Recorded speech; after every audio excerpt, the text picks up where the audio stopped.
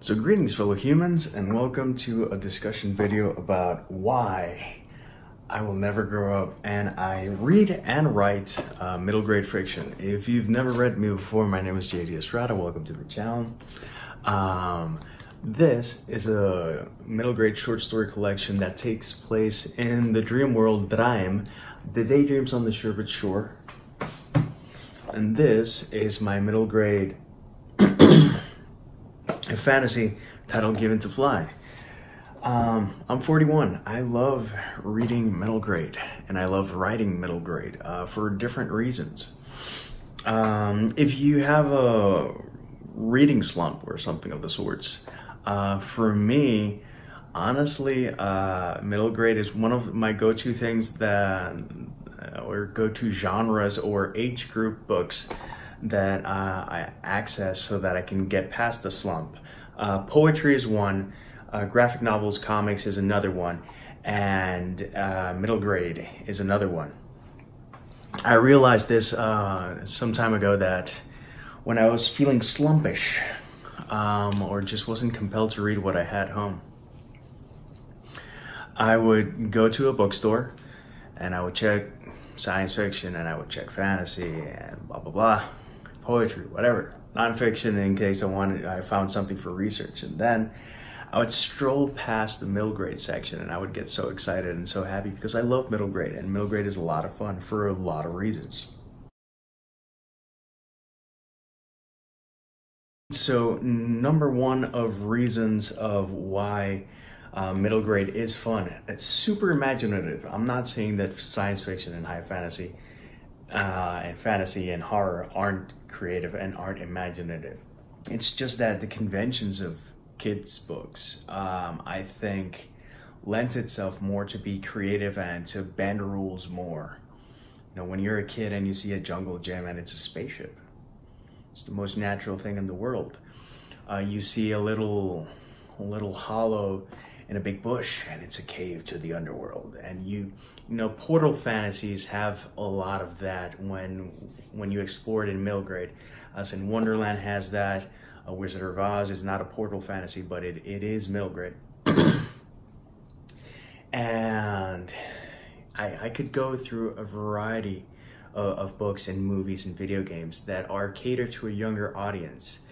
And it's just more chill and it's more relaxed and it's often about the trip and there could be a little strife and there could be a little suffering but not always. And at least for me uh, when i wrote when i wrote uh, given to fly uh, i wanted to write a book without violence.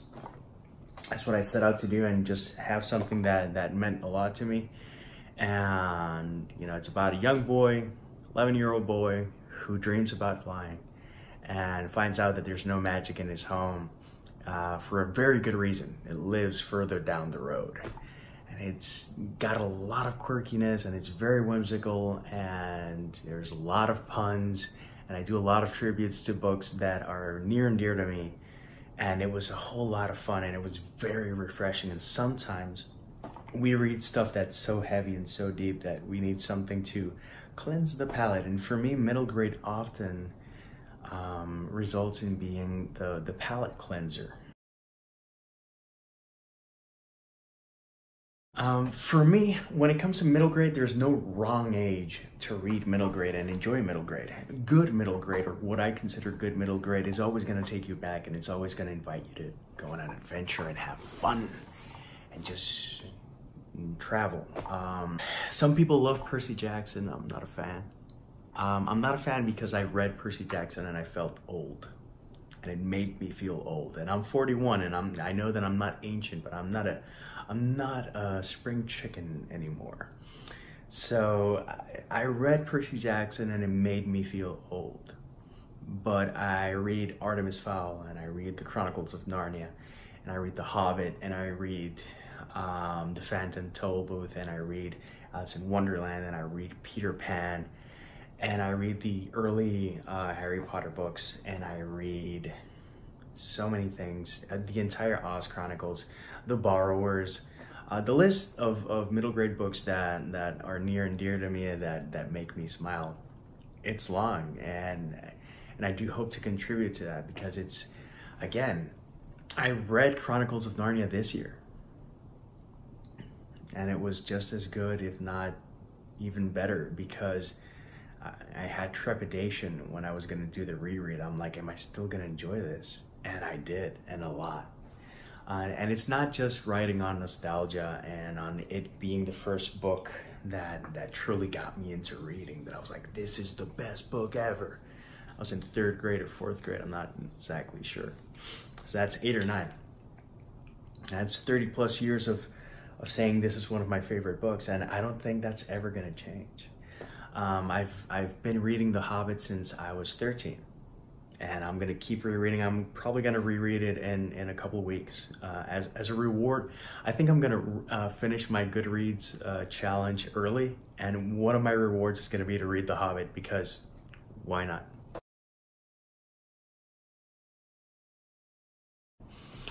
But in the end, some people feel like they need to ask permission to enjoy any type of book. Um, I enjoy middle grade. I enjoy horror, science fiction, fantasy, urban fantasy. I even enjoy YA. Uh, I enjoy books that some people hate and hate some people, uh, some books that people love. You know, to each their own. But middle grade, the entire Roald Dahl collection. These are kids' books, and I don't care. They make me happy. And I'm gonna make a, I'm gonna make a long, a long review and and, and comprehensive a video of all the Roald Dahl books that I read in. I think I have it in the, in the collection. Here, here's the collection that I'm gonna do a review. And I'm gonna give you my ranking. I'm gonna rank Roald. That's gonna be one of my, my future reviews. So stay tuned for that. Why? Because it's fun and there are so many ways that Roald Dahl is fun, by the way. I know some people are gonna say, oh my God, he was whatever. Charlie and the Chocolate Factory, The Fantastic Mr. Fox, Matilda, uh, The Big Friendly Giant. All books that uh, make me smile. Look at me. Look at me. Look at me smiling. Um, and it invites you to be young and to always be a dreamer, and I love that.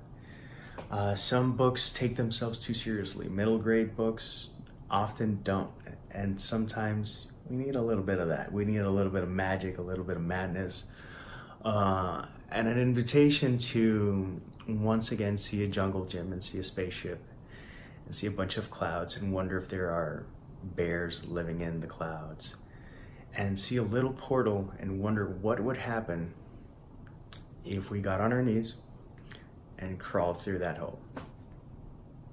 So, how about you? Do you like middle grade? Do you think you've outgrown middle grade? And if you do, that's fine. That's your jam, that's your stick. My stick is that I'm never gonna grow up. Uh, maybe maybe horizontally because I, I do a lot of taste tests and I like candy a lot. But you know, in terms of age and having fun, I'm always gonna be willing to have fun and be silly because life is too short to take things too seriously.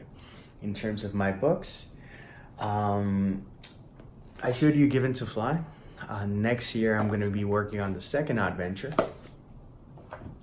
And I showed you the Daydreams on the Sherbet Shore. And the second volume is in beta readers. So um, we will talk about this more. And actually, since we are living in such heavy times, I'm actually going to be doing uh, readings of the Daydreams.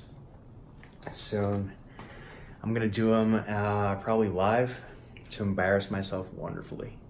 And I have an idea about that. Before I do those live reads, I'm gonna do a video about what I'm gonna do and how I need your help or the help of someone that you think might be interested in this trip. So I'll leave it at that because I have a lot of things in mind.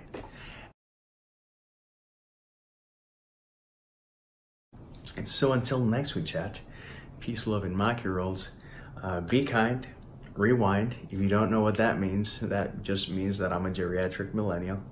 And that is why I read middle grade, so that I don't feel like a geriatric anything. So till next time, cheers.